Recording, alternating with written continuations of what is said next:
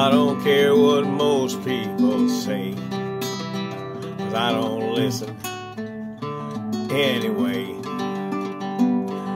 Cause I make most people mad when I speak. They think I'm some kind of freak. But I don't care what they think, cause I am a dink.